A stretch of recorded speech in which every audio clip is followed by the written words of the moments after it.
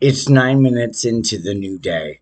Right here in my, uh, near my eye, there is pressure, and my left ear is hurting.